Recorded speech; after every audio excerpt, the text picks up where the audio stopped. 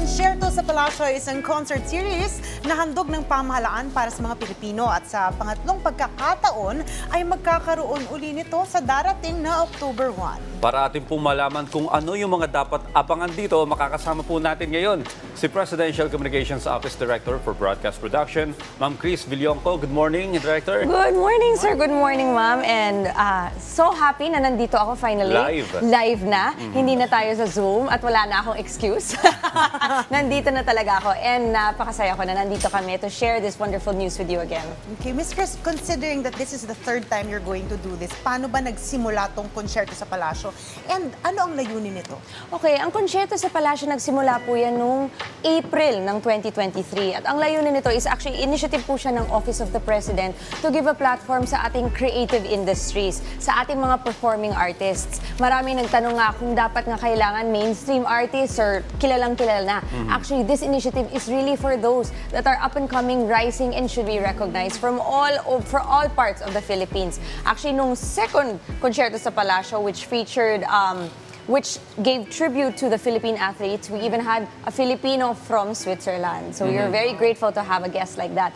Pero really, lahat ng mga artists natin nanggagaling from different parts of the Philippines, yung mga nagva-viral, yung mga nagpa-perform or who are finding ways to be able to perform and survive the pandemic, no? Artistically and as well as make a little money from it also. So this is our way for also to showcase and feature wonderful artists na kung ano-ano mga ginagawa. Meron tayong mga beatboxers, meron tayong rappers, meron of course, hindi tayo nawawala ng powerhouse vocalists ever. Tapos meron din tayong spoken word poetry. And all of these artists, thank God naman, meron naman po silang ano, they, because of Concerto sa Palasyo din, they're able to also have other opportunities as well. Alright. Well, uh, actually, nung pinapanood ko yung second concert sa Malacanang, may nakilala akong singer doon, si Joe Ferril. Si Joe Peril, Yeah, yes. ah, ah, siya yung kumanta na nag-viral noon nung ginawa niyang kanta yung naging message ni Kim Chu, yung artista Oh, si bawal Kim Chu, lumabas. na bawal lumabas.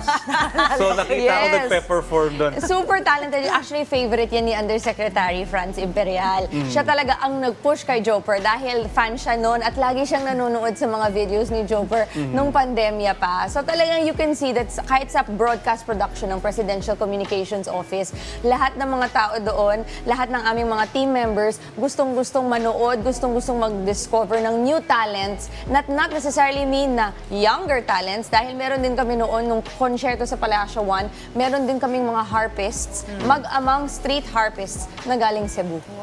So, you know, we, we really uh, try and promote Concerto sa Palasyo para for everyone to send their videos. At nagpapasalamat sa, kami sa lahat na nagpa-follow ng aming Facebook pages, Facebook page ng Concerto sa Palasyo. And also tune in to Concerto sa Palasyo live sa aming mga Facebook pages ng uh, Concerto sa Palasyo at Radio Television Malacanang. Okay, Pwede pero ka pa, rapper. Rapper po Oh, siya. ah, yes, so go. pwede. Grabe. Yes, Sa nagtugto yes. rapper pa, no? Anyway, uh, Ma'am Chris, uh, ito po yung pangatlo na, no, na Yes. konsyerto sa Palasyo. Ano po yung magiging tema nito? Ito naman po ay para sa ating mga guro, okay? And ito naman po ay featuring the sacrifices the and honoring the, the teachers of the Philippines. So this will, it, it really ranges from even OFW teachers. Meron din po kaming na-interview doon. Kasi not only do we have artists that we feature, but we also pay tribute to a specific sector. And this time around, ito po ang ating teachers.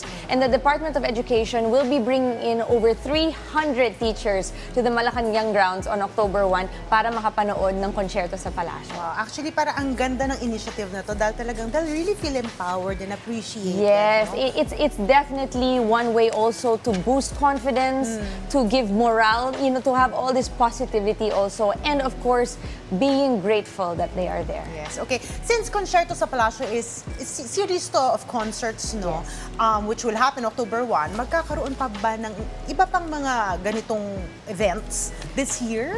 Right now, we are hoping, well, ang KSP or Concerto sa Pal- sa Palasyo, tatlo na po yan ngayon. And actually, we were thinking this would be a quarterly event Oh, wow. rather than something that was practically now almost every month. Pero dahil nagiging popular na din siya, grateful na din po kami sa lahat ng sumusuporta. But for now, I do hope that we will be able to continue this the following year, but as you know, Christmas season is really quite a busy time for everybody. Kaya nga. Well, mga ka-RSP, ah, kasama rin po natin ngayon ang actress-singer and she also played the lead role sa hit musical na Miss Saigon. Isa rin siya sa magpe-perform sa upcoming konsyerto sa Palasyo. Welcome po natin sa Rise and Shine Pilipinas si Miss Ima Castro. Good morning po. Good morning. Okay, Miss Ima, okay, anong pakiramdam mo na isa ka sa mga magpo-perform sa konsyerto sa palasyo para sa mga guro? Ano yung mga dapat naming abangan sa yung magiging performance? I am very grateful at um, I was invited to be part of this very special tribute sa ating mga guro ng Palasyo.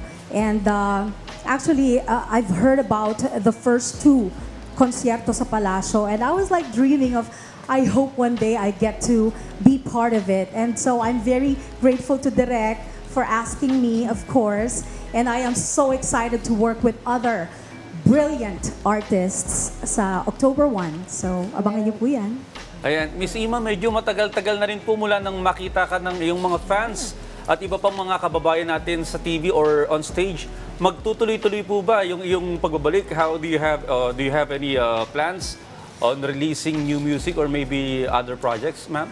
Well, yeah, I just finished um, concert series in USA and uh, Canada. I just came back five days ago. And uh, hopefully I will do more of that. And of course, corporate events here and musical musicals dito sa Pilipinas and abroad, hope, hopefully. Okay, for Miss Ima and for Miss Chris, please invite our mga viewers now, no, na suportahan ang konsyerto sa Palasyo at saan ba ito mapapanood? Siguro, let's start with Miss Ima first. Oh, well, I guess um, na may special invites for, for the teachers uh, sa Palasyo to be there with us. Uh, it will be at the Malacanang grounds. And then uh, sa RTVM, um, it will be shown uh, and Facebook live feed as well. So abangan niyo po yan. Ang saya-saya ng konsyerto po. Promise. Miss Chris? Hello po. Uh, once again, I'm Chris Villonco po from the Presidential Communications Office at iniimbitahan po namin kayo na manood ng konsyerto sa Palasyo para sa mahal nating mga guro. Sa, sa October 1 na po ito sa Sunday, 6.30pm. You can tune in live Facebook page namin ng konsyerto sa Palasyo at syempre po sa Radio Television Malacanang Facebook page at YouTube channel. This time around, fini-feature po namin ang ating mga mahal na guro from all over, from all the Filipino teachers from all parts of the world. And napaka-grateful po kami sa inyo. Actually, can I just add that Ima's mom was a teacher. Oh, teacher. And so this is a really, even if you watch Ima's video, it's actually quite emotional dahil nga po meron siyang ano talaga. There is a special place in her heart for teachers and we know that. We know that we, they, they, they really do encourage us and they are one of our second parents really. So once again, we are so grateful for you at sana ma-enjoy niyo po ito sa Sunday. And exciting ha, abangan natin lahat yan. Oo, when we are very honored and blessed to have you both Thank here you so today. much. Maraming salamat sa pagbisita sa amin this morning. Director Chris Villonco, ang PCO Director for Broadcast Production. And maraming salamat din ha, kay Miss Ima Castro. Again, thank you and congratulations agad sa konsyerto sa Palasyo. Siyempre, hindi naman pwedeng palalagpasin natin na hindi tayo bibigyan ng ah, pasilip sa magaganap sa konsyerto sa Palasyo. To sing for us this morning, here is Miss Ima Castro.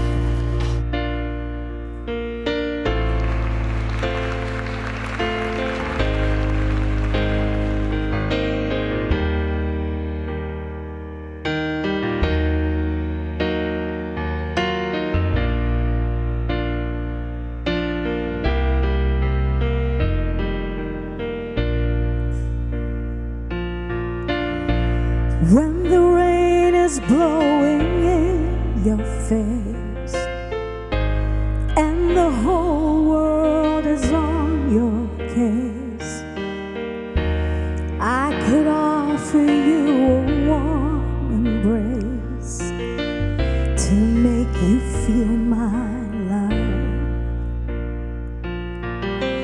When the evening shadows and the stars appear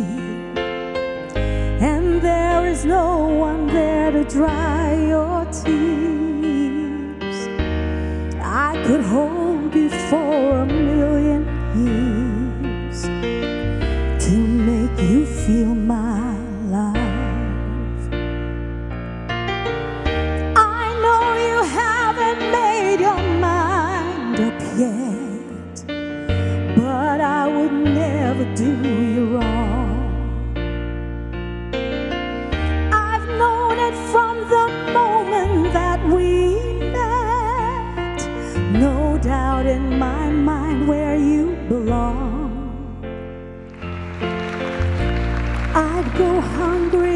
Go black and blue.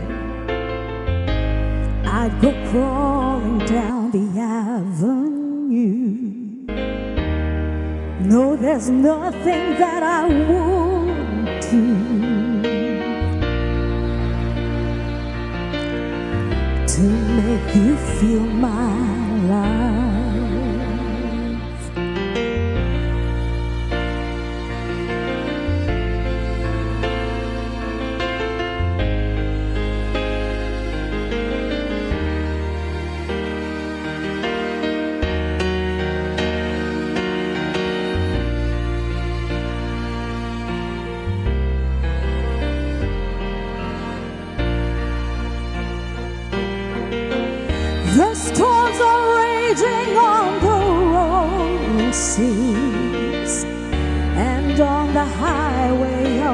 Regret.